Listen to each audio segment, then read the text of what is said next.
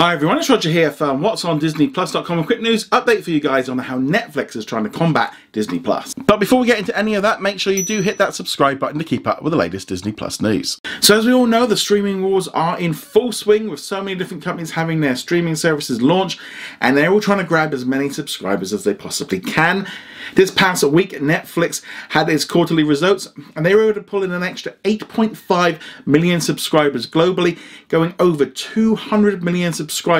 That's a massive amount of subscribers around the world and they want to stay at the top and they see not lots of competition coming in from Disney. They really do think um, Disney Plus is pretty much their kind of the, I think their biggest competition right now. With the news of them hitting over 200 million subscribers, it sent the stock price rising and obviously it's just great news for Netflix. There's so much um, content available, so many big shows and they are continuing to plow more and more money into making it original programming. In a statement to investors, the company recognized the impact other streaming services such as Disney Plus have been having on Netflix. The big growth in streaming entertainment has led legacy competitors like Disney, Warner Media and Discovery to compete with us in new ways which we have been expecting for many years. This is, in part, why we have been moving so quickly to grow and further strengthen our original content library across a wide range of genres and nations. Netflix knew this was all going to be happening. They saw where it was going. They saw that with you know going for contracts and stuff years ago, and they knew they had to invest in this original programming because they didn't have the massive amount of legacy content that Warner or Disney had, so they had to create new stuff. They also know that new stuff is what brings people in and makes people stick around. It has to be this consistently having new things drop. That's why Netflix announced over 60 movies this past week. There's going to be a new movie dropping pretty much every single week of the year.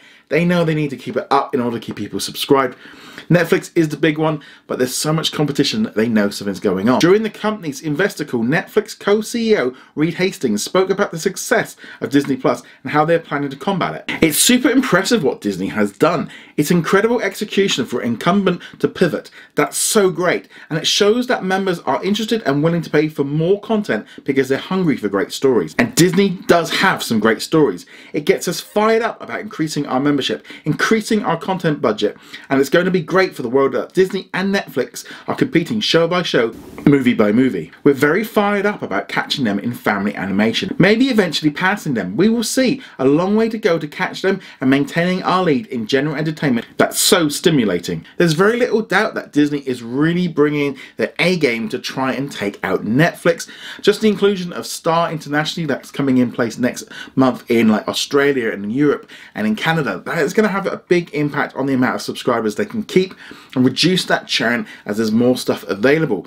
Now, as far as Netflix going after family animation, it's definitely a big, bold move for Netflix to say they want to go after family animation and beat Disney.